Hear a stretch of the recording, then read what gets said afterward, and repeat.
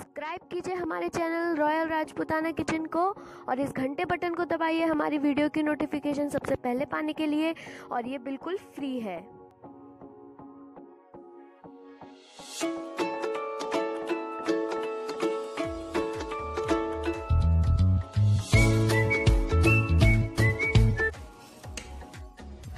सो so, आज हम बनाएँगे बर्बन बिस्किट केक बहुत ही टेस्टी स्पॉन्जी केक और ये बहुत ही कम टाइम में बन जाएगा। फ्रेंड्स स्वागत है आपका दी रॉयल राजपूताना किचन में।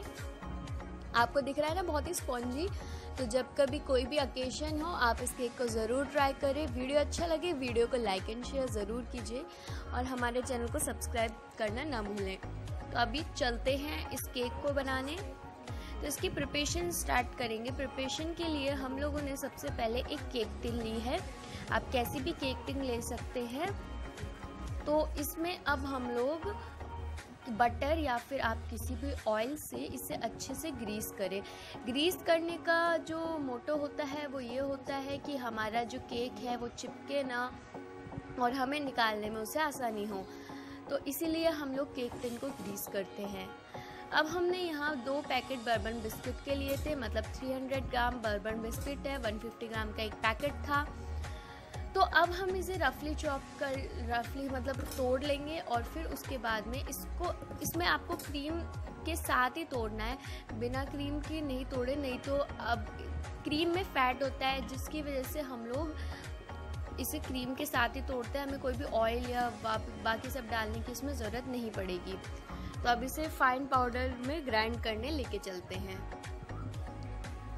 अब ये देखिए, ये पाउडर में ग्राइंड हो गया। अब इसमें चीनी भी होती है तो यहाँ मैं दो टेबल स्पून इसमें चीनी डालूँगी।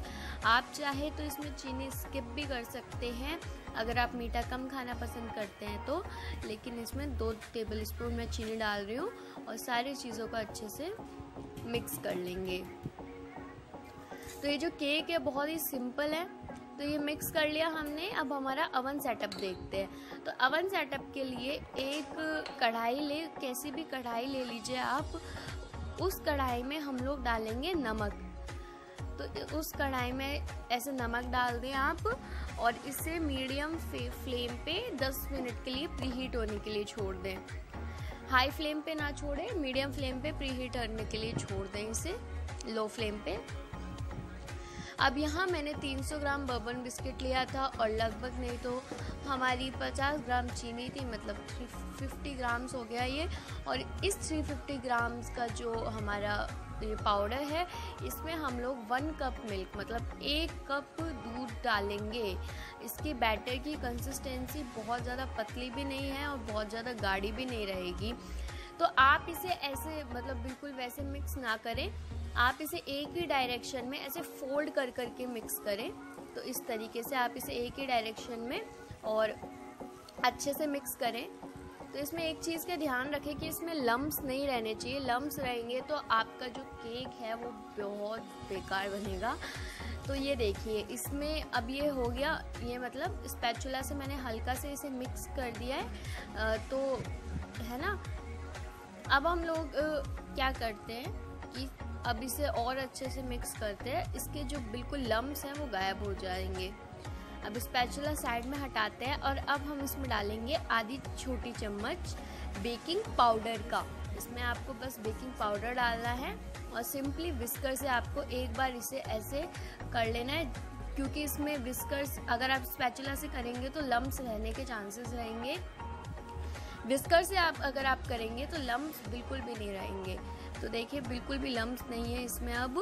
तो ये हमारा बैटर बिल्कुल रेडी हो गया है और लगभग ये बैटर बनाने में हमें आठ से सात मिनट लगी होगी मुश्किल से। और हमारा जो अवन है, वो भी हमने प्रीहीट होने के लिए रख दिया तो कोई दिक्कत ही नहीं है अब। अब तो कुछ नहीं करना। अब आपको क्या करना है केक टिन ले केक टिन लेनी है अपनी और ग्रीस की हुई। आप चाहे तो इसमें नीचे बटर पेपर लगा सकते हैं, लेकिन इसमें बटर पेपर लगाने की कोई ज़रूरत नहीं है। वैसे तो ग्रीस कर लेते हो तो अगर आप, ये सिंपली बहुत ईजीली निकल जाता है। तो इसमें अब हम लोग, हमारे केक का बैटर ट्रांसफ़र कर देंगे हम लोग। तो इसमें केक का बैटर पूरा कुछ भी वेस्ट ना करें और अच्छे से पूरा केक का बैटर इसमें ट्रांसफ़र कर दें। तो इस पैचुला से पूरा मैं ट्रांसफ़र कर देती हूँ।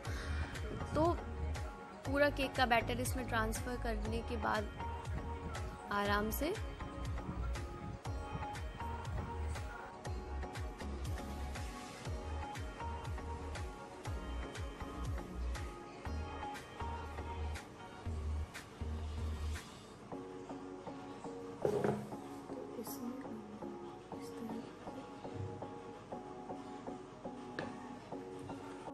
तो अब इसे एक बार इस पैचुला से हम लोग अच्छे से क्या कर देंगे, थोड़ा सेट कर देंगे और फिर उसके बाद में हल्का सा टैप करेंगे जिसमें इसमें जो एयर है वो निकल जाए और ये थोड़ा सेटल हो जाए।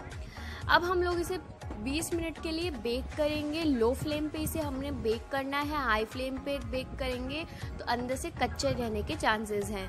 लो फ्लेम पे 20 मिनट के लिए बेक करें।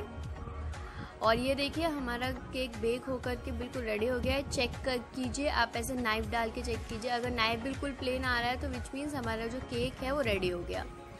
अब इसे केक टिन से इजीली निकाल लीजिए और डेकोरेट कीजिए और एंजॉय कीजिए इस केक को। बहुत ही स्पॉन्जी बना है ये केक किसी भी एंगल से लग रहा है कि ये बिस्किट का केक है। नहीं लग रहा ना? तो किसी को भी नहीं लगेगा, आप इस केक को किसी भी चीज़ से डेकोरेट कीजिए और बहुत औसम लगेगा।